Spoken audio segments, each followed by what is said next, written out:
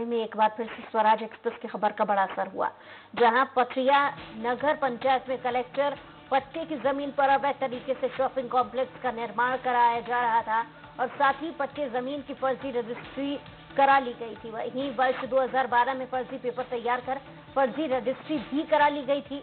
मामले में कथित फर्जी रजिस्ट्री के खिलाफ तहसील पथरिया अनुविभागीय कार्यालय में प्रकरण लंबित है। मामला ठंडा पड़ता देख अधिकारियों से मिली भगत कर अब उस भूमि पर शॉपिंग कॉम्प्लेक्स का निर्माण बड़ी तेज़ी से कराया जा रहा था। इस पूरे मामले में स्वराज एक्सप्रेस ने प्रमुखता से इस खबर को दिखाया और कलेक्टर ने पूरे मामले में सख्त कार्रवाई की बात कही।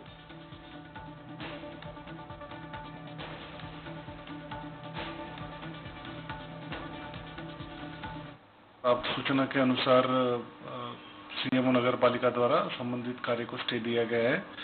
उसमें जो भी नियम और प्रावधान है उसके अनुरूप ही कार्य होना अपेक्षित है और अगर इसके विपरीत अगर कुछ कार्य हो रहा है तो उसमें कार्रवाई होगी।